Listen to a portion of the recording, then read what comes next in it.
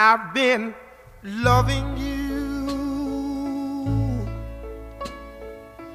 too long to stop now.